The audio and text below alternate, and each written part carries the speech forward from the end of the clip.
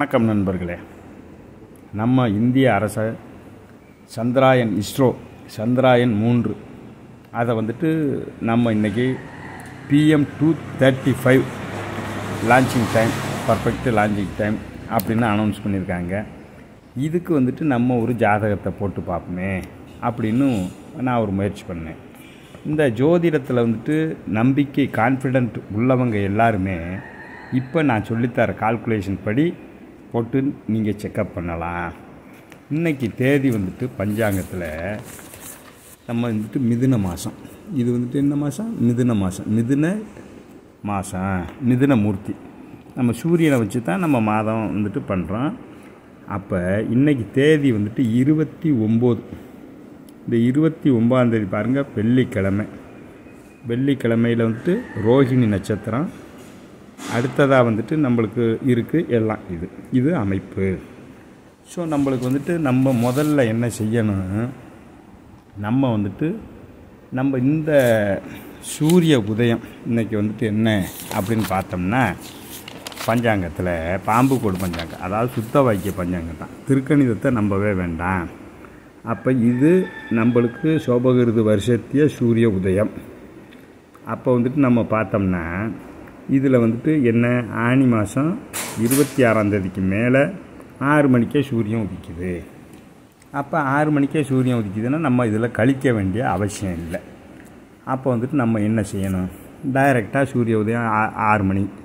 அப்போ நம்மளுக்கு ஏவப்படுற நேரம் டூ தேர்ட்டி ஃபைவ் பிஎம் அப்போ மொத்தம் அப்படின்னா உள்ள ஹவர்ஸ் அதை நம்ம நாளிகையாக மாற்றணும் அப்போ வந்துட்டு என்ன? ஆறு டு ரெண்டு முப்பத்தி அஞ்சு பிஎம் வரை.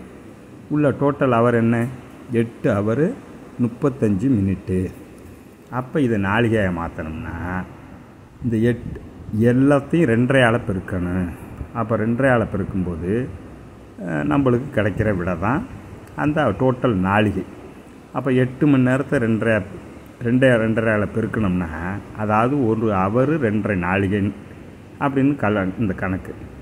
அப்போ எட்டு அவரை பெருக்கும்போது எட்டு ரெண்டு பதினாறு எட்டில் பாதி நாலு இருபது நாளிகை வந்துடுது. நம்மளுக்கு வந்துட்டு அந்த முப்பத்தி அஞ்சு மினிட்டை முப்பத்தி அஞ்சு நிமிஷத்தை வினாடியாக மாற்றுறோம் அப்படின்னு சொன்னோம்னா அது எண்பத்தெட்டு வினாடியாக மாறிடும். அப்போ இந்த எண்பத்தெட்டு வினாடியில் ஒரு அறுபது வினாடி நம்ம வந்துட்டு ஒரு நாளிகையாக மாறிடும்.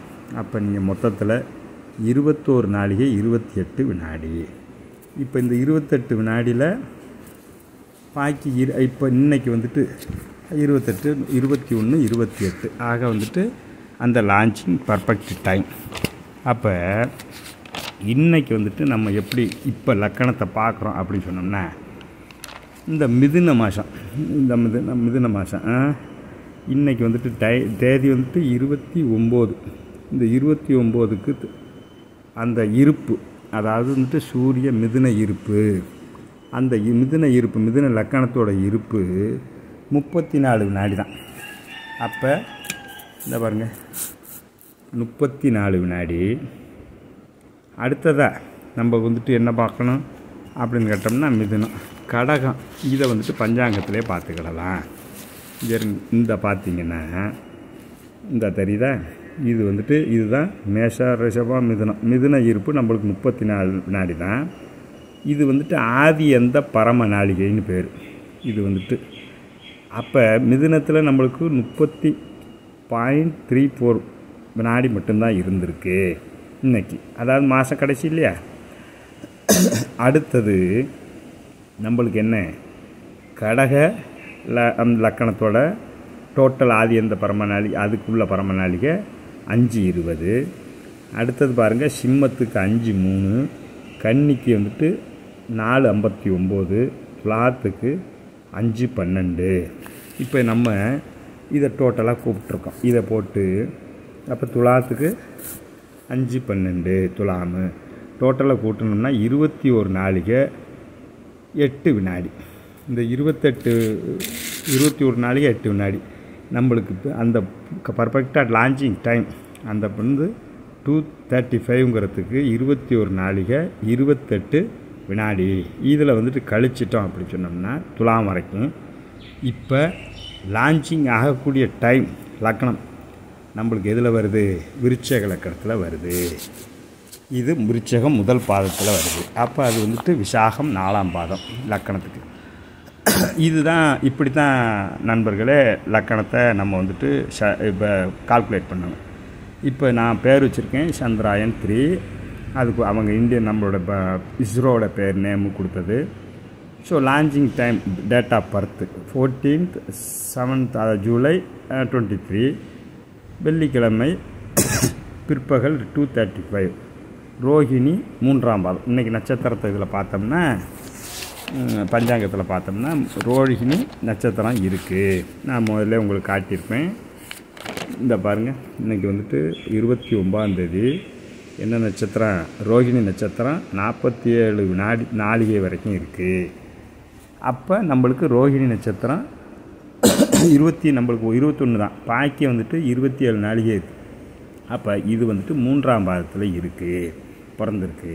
அப்படிங்கிறது தான் இதில் இது க நண்பர்களே.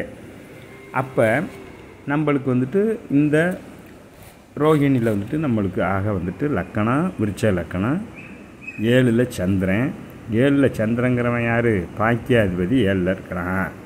அப்போ ஏழில் இருக்கிற சந்திரனால என்ன? பாக்கியாதிபதி ஏழில் இருக்கிறதுனால இதனுடைய தொழில் அதனுடைய கம்யூனிகேஷன் உறவும் நட்பும் தானே. இந்த ஏழாம் இடம்ங்கிறது உறவும் நட்பும். அதே போல் கடத்தரம் சொல்கிறதுக்கு இடம். இது வந்துட்டு ஒரு நம்மளுக்கு கம்யூனிகேஷனுங்கிறதுனால ஒம்போதில் மடத்த அதிபதி எங்கே இருக்கான்? ஏழில் உச்சமாக இருக்கான் அப்போ வெரி குட் கம்யூனிகேஷனை நம்மளுக்கு தரும். அடுத்ததை பாருங்கள் இந்த லக்கணாதிபதி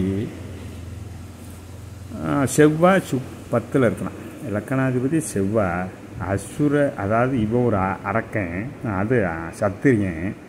சத்திரிய செவ்வாய் பத்தில் செம்ம இந்த சிம்ம வீட்டில் நிற்கிறாரு யாரோட நிற்கிறாரு ஏழாம் இடத்து அதிபதியோட நிற்கிறார் அப்போ இது கடமையை வெரி பர்ஃபெக்டாக செய்யும்.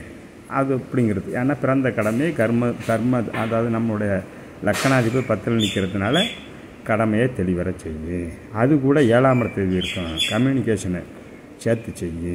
ஆனால் அது விரையாதிபதியோட வீடு. அப்போ அது வந்துட்டு நம்மளுக்கு திருப்பி வரப்போகிறது ஒன்றும் இல்லை. அது வ அது திருப்பி இங்கே வந்து வராது.